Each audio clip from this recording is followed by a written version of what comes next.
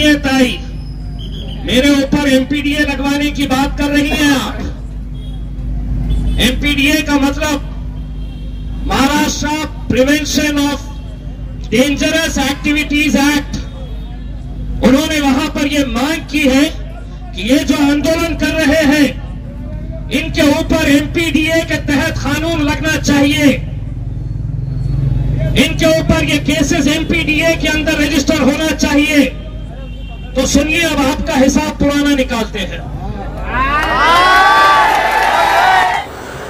देश से लेकर शहर तक हर खबर आप तक।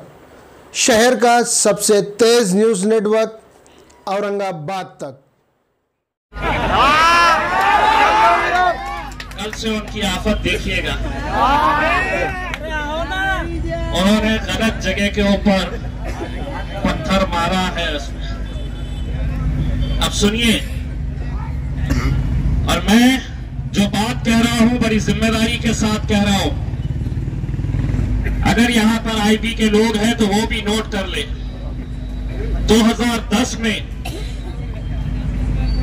मैं पूना में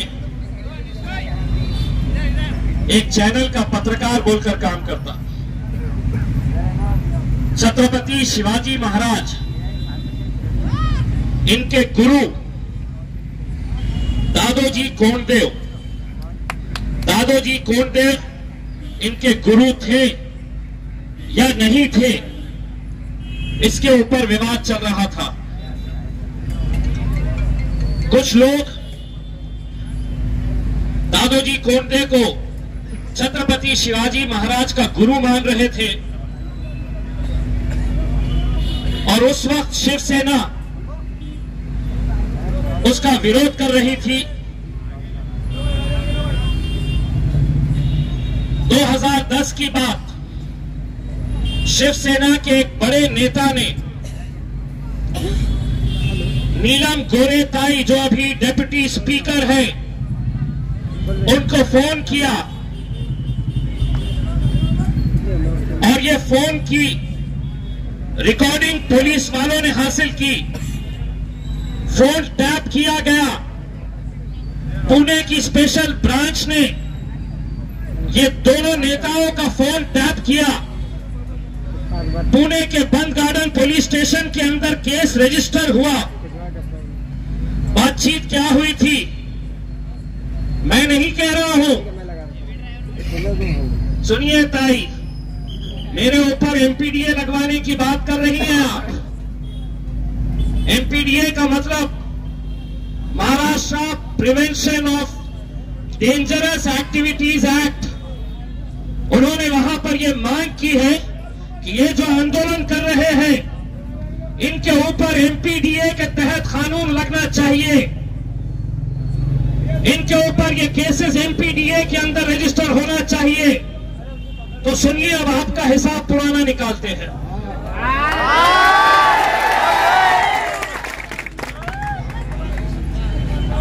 शिवसेना के एक बड़े नेता ने नीलम तई गोरे को फ़ोन किया और फ़ोन करके ये बताया कि पुणे के कुछ इलाकों के अंदर तुम्हें शिव सैनिकों की भीड़ इकट्ठा करनी है, बसों के ऊपर पथराव करना है। पुणे मुंबई एक्सप्रेसवे पर दो ट्रकों को जलाना है। ताकि ताकि पुणे मुंबई एक्सप्रेसवे बंद हो। पुणे के किन किन इलाकों के अंदर तुम्हें गाड़ियों के ऊपर पथराव करना है। ये दो नेता आपस में बात कर रहे इम्तियाज़ जलील अपने मन से कुछ नहीं कह रहा पुलिस ने ये फ़ोन टैप किया। कौन है? किसका कैमरा है? आइए सामने आइए साहब सामने आइए। मैं कहा आपसे छुप के बोल रहा हूँ।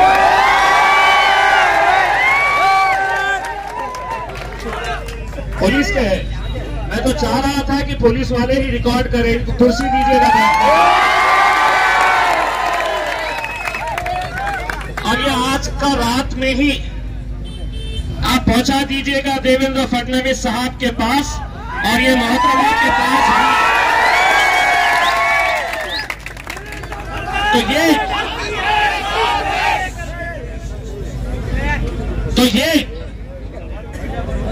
केस रजिस्टर हुआ पुणे के बंद गार्डन पुलिस स्टेशन के अंदर पुणे की पुलिस ने ये मांग की कि हमें ये दोनों नेताओं के वॉइस सैंपल्स लेने का है। बहुत प्रेशर डाला गया। हम वॉइस सैंपल्स नहीं देंगे। ये जो मामला था, ये किसी आम आदमी ने नहीं, बल्कि पुलिस वालों ने रिकॉर्डिंग की थी इसकी। केस रजिस्टर हुआ था तो पुलिस वालों ने रजिस्टर किया था। अब भाई आपको हूँ अब भाई से पूछिए हम जो बैठे हैं ये हम लोकतंत्र के अंदर जो हमारा विश्वास है जो डेमोक्रेटिक राइट है जो संवैधानिक अधिकार है बाजाबता पुलिस को परमिशन लेकर यहाँ पर बैठा गया है ये गुंडे नहीं हैं ये औरंगाबाद से मोहब्बत करने वाले लोग हैं।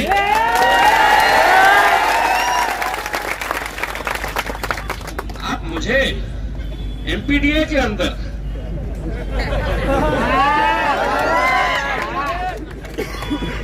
आई। अब अंदर की बात सुनिए। दो शिवसेना के नेता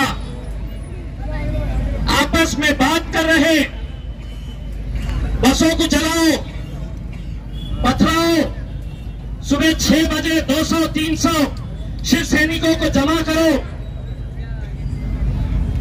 नहीं सुना है। बात यहीं पे खत्म नहीं हुई। जब सरकार बनाने की बात आती है तो कैसे, किस हद तक ये चले जाते हैं कि हमारी हुकूमत बने? कैसे समझौते किए जाते हैं।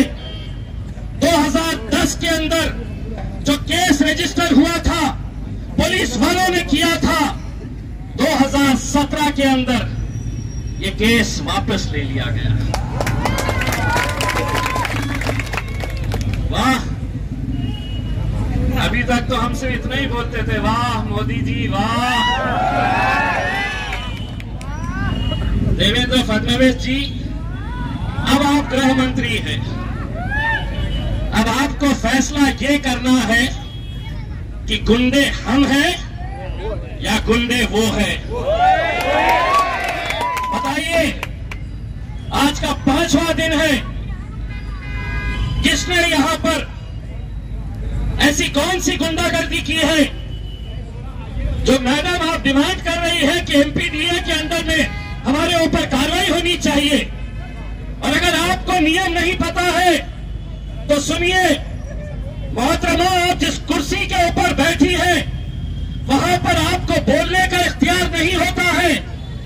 आप वहाँ पर हमदारों को सुनना पड़ता है। लेकिन आप तो नेतागिरी वहाँ पे कुछ कुर्सी के ऊपर भी शुरू कर दी। गलत जगह हाथ डाले हैं मैडम मौसम बिगड़ने वाला है जो पत्थर 2010 2023 के अंदर अब उसकी गूंज सुनाई देगी आपको। और जब हम कह रहे हैं तो पूरी ज़िम्मेदारी के साथ कह रहे हैं। मुझे भी मालूम है, मुझे भी मालूम है ये इंतज़ार में बैठे हैं कि ये बंदा कब हमारे हत्ते चढ़ता है। अरे लटक भी जाओ तो नहीं लटक पाता कानून के दायरे के अंदर रह के हम बात कर रहे हैं। और कानून के दायरे के अंदर रहकर आप भी बात करिए। वरना बताइए, बोलिए कि पुलिस वाले झूठ थे। तुम खामोशी से केस वापस ले लेते हैं। और हम तो कहते हैं कि इनके ऊपर एमपीडीए के खिलाफ केस रजिस्टर होना चाहिए। कल असेंबली का सेशन है। वहाँ पे जवाब दीजिए और बोलिए कि इम्तियाज़ जलील झूठ बोल रहा है करके। बताइए कि इम्तियाज़ जलील झूठ कह रहा है? नहीं बोल सकेंगे। और शायद इसके बाद इम्तियाज़ जलील के खिलाफ बोलना ही बंद कर देंगे। देखिए, कानून के तहत ये हमारा इख्तियार है कि हम यहाँ पर बैठेंगे। जमहूरी तर्ज पे हम हमारा आंदोलन जारी रखेंगे। हम लड़ेंगे। कानूनी लड़ाई लड़ेंगे। यहाँ पर सड़क के ऊपर भी बैठ के हम अपनी नाराज़गी ज़ाहिर करेंगे।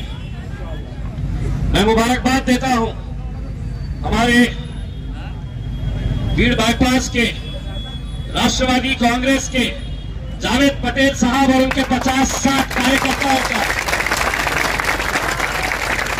जिन्होंने ठोकर मारा है अपने पार्टी के पोस्ट को।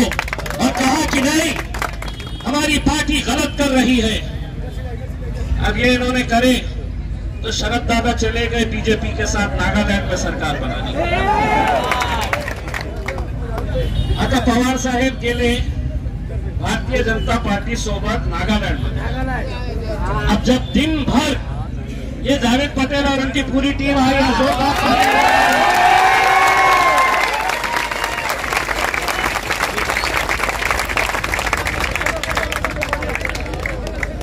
ये ऐसे जज्बे को सलाम करने की ज़रूरत होती है मेरे भाई। वो कुर्सी आएगी उहदे आएँगे। लेकिन जब हमारे वजूद, हमारे शहर की पहचान की का मामला आएगा तो उसके साथ कोई समझौता नहीं हो सकता। है अब सुनिए अब सुनिए, कल तक जो जावेद भाई की पार्टी थी आज इनके जो सर्वे सर्वा, शरद पवार साहब बीजेपी के साथ मिलके नागालैंड के अंदर सरकार बना रहे, जब दिन भर इसके ऊपर मीडिया में बवाल चला तो पवार साहब ने एक स्टेटमेंट दिए। हमने भाजपा को सपोर्ट किया ही नहीं, हमने उनके मुख्यमंत्री को सपोर्ट कर लिया हाँ। अरे का शेंडी इंडिया आहे का मला अरे समझा दीजिएगा। लेकिन इम्तियाज़ अली तो तुम्हारा पोस्टमार्टम करके रहेगा। अब हमने 2010 का मुद्दा निकाले हैं। पुलिस वाले साहब फ़ोन करके बोल दे रहे हैं, मैं भेज रहा हूँ, जल्दी से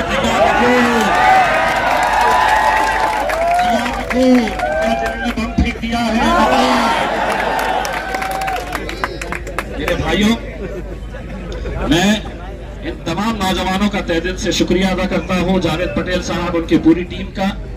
कल हमें इसी जगह से एक कैंडल लाइट मार्च हमें निकालना है, जो डॉक्टर बाबा साहब अंबेडकर के भरकल गेट के पुतले के पास जाएगा। पूरा अमन तरीके से, बहुत ही शांति के साथ। मैं इतना आप लोगों को बता दूँ कि ये आंदोलन कोई हुल्लड़बाजी का नहीं है। कोई चीखने चिल्लाने का हंगामा करने का नहीं है। एक मकसद के तहत हम लोग आगे बढ़ रहे हैं। ये जो रैली यहाँ से निकलेगी दो दो लोग अपने हाथ में कैंडल लेकर, दो के पीछे दो दो के पीछे दो, ताकि ये दिखकर भी आए कि इसका सिरा जो है, वो अगर भड़कल गेट पे रहेगा तो उसका एंड यहीं पे खड़ा रहना चाहिए। इतने सारे लोग, लेकिन अगर किसी भी तरह से अगर कोई हुल्लड़बाजी करने की कोशिश करा तो आप ये समझ लीजिएगा कि ये कल हमारे आंदोलन का आखिरी दिन रहेगा। क्योंकि अगर इस मकसद में हमें अगर कामयाब होना है तो कहीं ना कहीं हमें बहुत ज़िम्मेदारी के साथ आगे बढ़ने की ज़रूरत है। हर शख्स ने यह सोचना चाहिए कि मैं ये आंदोलन कर रहा हूँ, इंशाल्लाह इसके अंदर कुछ ना कुछ अच्छा नतीजा मैं ज़रूर निकालूँगा। तो यही है कल सुबह का इंतज़ार है, जब पूरे के पूरे आ जाएँगे, उसके अंदर क्या बोलेगा रात में क्या बोलेगा रात में आपने क्या बोले? और कुछ तो ऐसे रहेंगे कि रात में आके बैठ जाएँगे घर के सामने उसमें क्या बोले तुमने करके उसमें? अब सुन लो। तुमने बोले थे, हमने सुने, अब हम बोल दिए हैं, अब उसका जवाब तुमको देना पड़ेगा। हम खाली हाथ नहीं जाने देते हैं। आपको हमने तेरह साल पुराना वाला मैटर हमने निकाल दिए है। खींच के अब उसके ऊपर आपको जवाब देना पड़ेगा उसमें। आप लोगों से यही उम्मीद है, यही जोश को बरकरार रखिए, यही जज्बे को बरकरार रखिएगा। बहुत बहुत शुक्रिया। इसके बाद अगर यहाँ पर ख्याल रखिएगा कि किसी भी तरह का माइक का इस्तेमाल ना किया जाए, हम लोग यहाँ पर बैठे, हमारी बातें रखें, किसी को नजम सुनाना है विदाउट माइक के आप लोग कर सकते हैं। बहुत बहुत शुक्रिया।